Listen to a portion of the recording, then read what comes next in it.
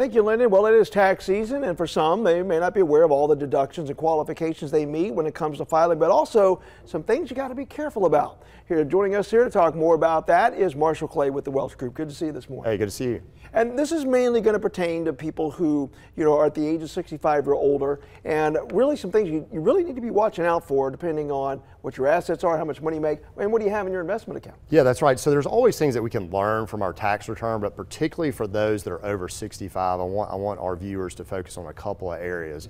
The first is the distributions from their qualified accounts. So what are their qualified accounts? I'm talking about their 401ks, their rollover IRAs, um, their Roth IRAs, um, and then and then also those, those, those after after tax accounts, those individual and joint brokerage accounts. I see a lot of mismanagement in those areas. I had one uh, new prospect that came in to see me, and they were actually working with an advisor. This was kind of shocking, and they were taking massive amounts of money out of their pre-tax tax rollover IRA, and it was causing them to pay way more in tax than they should have been paying. Mm -hmm. They could have mix matched what they need from their portfolio between the rollover IRA and maybe a little bit from the Roth and maybe a little bit from that after-tax joint account, and it could have dramatically reduced their taxes. And so that's what we did for them, and it was a it was a very good result. How does somebody who doesn't have an, an expert though, you know, figure all this out? Well, I think the first thing is really just to understand the, the, the taxation of all of these accounts. I think if you intuitively get, hey, when I pull money out of my IRA, how is that going to get taxed? In this case, it's going to be taxed at ordinary income rates.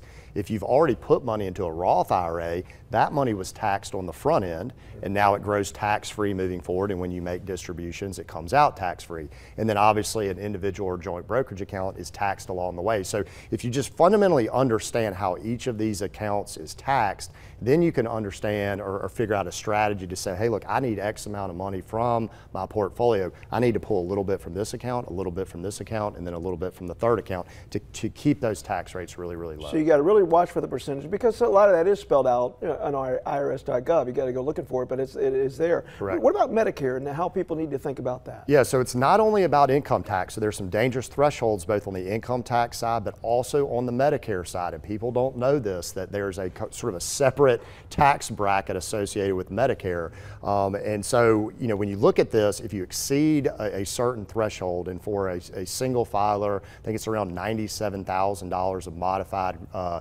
adjusted gross income. So what that is, is essentially your adjusted gross income added back some, some tax, uh, tax-free interest or any tax-free interest that you would have. So this is before you take the standard deduction or the itemized deductions. That's a, that's a careful distinction that people need to understand.